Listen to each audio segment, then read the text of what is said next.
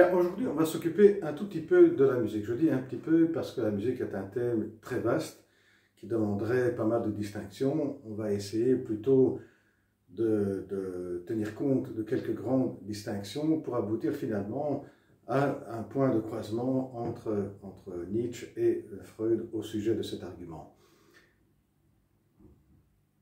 La distinction plutôt large que je vais prendre en compte est celle entre la danse comme forme artistique, où on, demande tout de même de la part de la personne qui danse capacité créative, artistique, et euh, capacité également technique, et donc entraînement, perfectionnement des mouvements.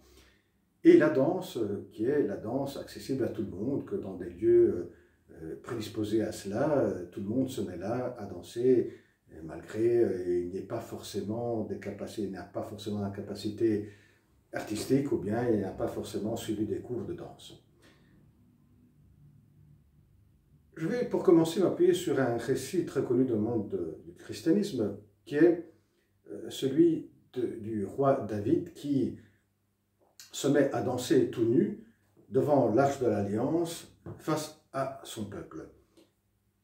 Après euh, cette danse, sa femme euh, va euh, lui poser des critiques très fortes au sujet de son comportement qu'elle considère, ne considère pas convenable pour un roi de se prêter à ce genre de, situation où tout nu se met à danser devant son peuple.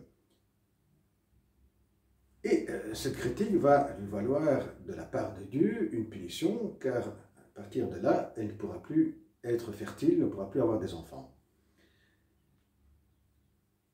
Ici, on peut retracer un peu une structure euh, typique de euh, ce que permet ce moment euh, d'extase qui est la danse pour tout un chacun. Mais il y a dans la, critique qu'elle fait, que la, femme du roi David lui fait, lui porte, c'est un, qu'il y a des comportements non convenables qui, qui, ne sont pas convenables pour son statut de roi, ce qui veut dire qu'au moment où on danse, eh bien, ces codes, codes qui sont dictés par la société tendent à disparaître. Si vous êtes dans une salle de danse, eh bien, il n'y a, plus raison de faire une distinction entre personnes d'un statut différent, que ce soit un avocat, que ce soit un ouvrier, tout le monde peut se mettre à danser sur le même plan. Alors que quand on est dans, les conditions normales de vie, eh bien, qui a un certain statut doit tenir des comportements euh, assez rigides, parce que sinon, ce seront des comportements qui lui font préjudice.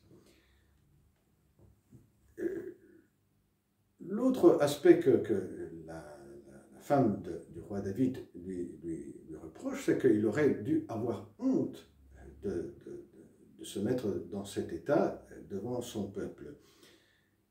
Et en lui disant cela, eh bien, voudrait qu'il ait quelque sens de culpabilité.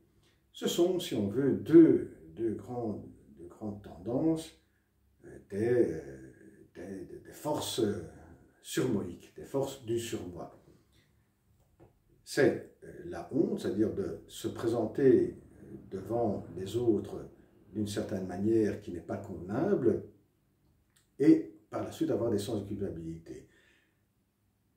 Alors que quand on est dans, quand le roi euh, David danse, eh bien, cela euh, ne se présente pas. Ce qui revient à dire que euh, tout ce qui est de l'ordre du surmoi, que ce soit des, des codes imposés par la société ou que ce soit les forces, les comme la honte et la culpabilité, eh bien, se réduisent euh, drastiquement. Et au sujet du corps, on pourrait aussi dire que euh, la société, euh, un groupe, ben, va mettre en place beaucoup de contraintes au sujet du corps. Le corps est toujours sous contrainte. Il faut s'habiller d'une certaine façon, on doit s'habiller avant tout, on doit s'habiller d'une certaine façon. On ne peut pas bouger comme on veut euh, lorsqu'on est euh, dans la société. il faut toujours se contenir. quand on parle, oui, on peut bouger, comme je fais maintenant, les mains, parce que euh, dans ma culture italienne, cela est permis, cela est, disons, est favorisé. Mais à part cela, on doit toujours se contenir, on ne peut pas bouger le corps comme on veut. Le corps est sous contrainte. Alors que quand on danse, ben, le corps peut se libérer euh, tranquillement. Et si on se reprend, si on se réfère euh, à la stratification de l'appareil psychique de Freud, eh bien là, c'est le surmoi qui, qui, fonctionne beaucoup moins, qui, est moins vigilant lorsque on se met à danser, type de danse voilà, où peut s'exprimer librement. Et l'autre aspect, euh, l'autre, euh, instance qui va moins fonctionner, aussi le moi. Le moi qui, euh, d'habitude, habituellement, est toujours opérant quand on parle, et c'est justement quand on parle qu'on ne peut pas, dans le même moment, se mettre à bouger énormément le corps et parler. On fait l'un ou l'autre. Et quand on parle, c'est la partie du moi, c'est la partie la plus rationnelle qui est présente. En revanche, quand on se met à danser, c'est la partie qui n'est, plus opérante et qui laisse libre cours voilà, à une autre partie. Donc le, surmoi euh, donc, fonctionne beaucoup moins et beaucoup moins opérant lorsqu'on danse, le moi également, et la partie qui va rester et qui va être en première ligne, si on veut, c'est celle qui est en dessous, qui s'enracine dans le corps, pour Freud, le ça. Le monde des pulsions. C'est le monde des pulsions qui, pour Freud, euh, représente le ça et qui s'enracine, pour Freud, s'enracine dans le corps. C'est le corps qui est le vrai acteur lorsque on se met à danser et qui se libère. Et pour Freud, effectivement, la seule fois où il cite la danse, eh bien pour la danse est une manière de euh, donner libre cours à euh, ce qu'on pourrait appeler des, euh, des, plaisirs, des plaisirs qu'on retrouve dans le plaisir orgasmique, dans le plaisir de l'orgasme.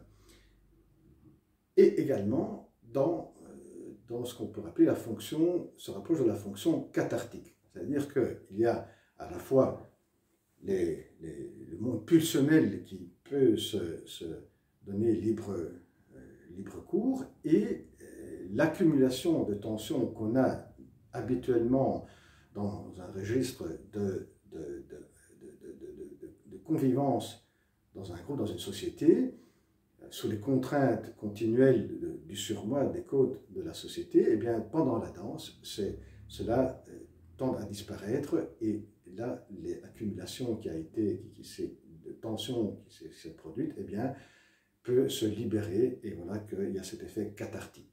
Donc l'effet jubulatoire et l'effet cathartique, l'effet jubulatoire qui euh, prend euh, son énergie du monde pulsionnel, du ça qui s'enracine dans le corps, et l'effet cathartique. Et c'est à, ce stade qu'on peut euh, trouver euh, voilà, un, point de croisement avec, euh, avec Nietzsche. Avant de passer à Nietzsche, disons très rapidement également une autre remarque au sujet du rythme. La danse est faite du corps qui, qui, qui, bouge, donc le mouvement continu du corps, sur un, sur, à partir d'un rythme rythme qui est toujours présent dans les danses, au moins dans les danses collectives, on règle les autres. Et euh, le rythme, la seule fois où Freud fait référence au rythme dans ses théories, on trouve la référence lorsqu'il essaye de comprendre qu'est-ce qui se passe au niveau de l'orgasme. Alors l'orgasme pour Freud est assez simple à définir, c'est-à-dire que c'est le moment où la tension chute et donc le plaisir est l'absence de tension. De là euh, surgit ce, grand plaisir qu'est l'orgasme.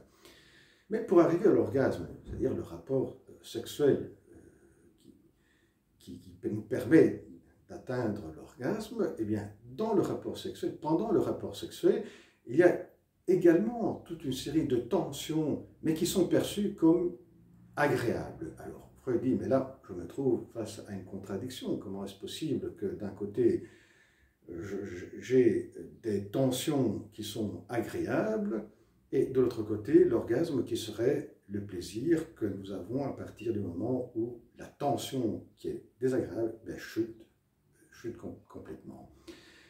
Et là, il est obligé d'évoquer euh, un autre aspect euh, qu'il n'avait jamais évoqué jusqu'à ce moment-là, qui est le rythme. Il dit, Freud, eh bien, il doit y avoir quelque part un rythme différent de ce type de tension lorsqu'on a un rapport sexuel qui donne cette sensation de plaisir. Et donc le rythme-là devient un concept pour expliquer ce qui se passe lors d'un rapport sexuel pour atteindre l'orgasme. Et le rythme, comme on voit, est essentiel dans ce qui est la danse, dans le mouvement continu du corps sur, sur, sur un rythme. Oui, maintenant, euh, Nietzsche, Nietzsche qui euh, n'est pas le seul philosophe, on peut même dire que la danse a, souvent, a, souvent euh, pris la, curiosité, a souvent donné de, quoi penser aux philosophes. Et Nietzsche trouve dans la danse un point capital de sa philosophie, qui a été toute une philosophie de la volonté de puissance, de comment se débarrasser euh, de toute une série de contraintes euh, que, au fil des siècles, les sociétés nous ont imposées et qui nous empêchent de nous exprimer librement et de faire surgir ce qui est effectivement la volonté de puissance. Et là, et quand il se réfère à les forces dionysiaques, il se réfère à ces forces qui sont en nous, mais qui sont réprimées. Souvent, on a pu dire que Freud copie euh, Nietzsche dans ce sens-là, qui va reprendre cette distinction entre les forces qui euh, répriment et les forces qui sont réprimées, entre le monde rationnel qui réprime et le monde irrationnel, entre le surmoi, le moi et le ça, le monde des pulsions. Eh bien là, euh, Nietzsche nous dit que dans, dans ce moment où s'expriment les forces dionysiaques, même dans les, dans les rites, dans les rituels dionysiaques, eh bien, la danse était, un, un, poids essentiel, était, un des aspects essentiels pour s'exprimer, pour exprimer les forces dionysiaques, bien, dit Nietzsche, euh, la danse est importante pour tout à chacun pour accéder à sa partie irrationnelle, à sa partie où les forces de la volonté de puissance, que, ce conjugement, euh, cette union entre les forces de vie et de mort puisse complètement nous traverser dans notre, dans notre vécu. Et la danse est un moment important pour accéder à cela, un moment où on peut accéder à la légèreté, où le poids de, des forces de répression vont tendre à disparaître. Et là, on voit un point de, conjonction entre Nietzsche et Freud. Et bien voilà, à la prochaine vidéo. Au revoir.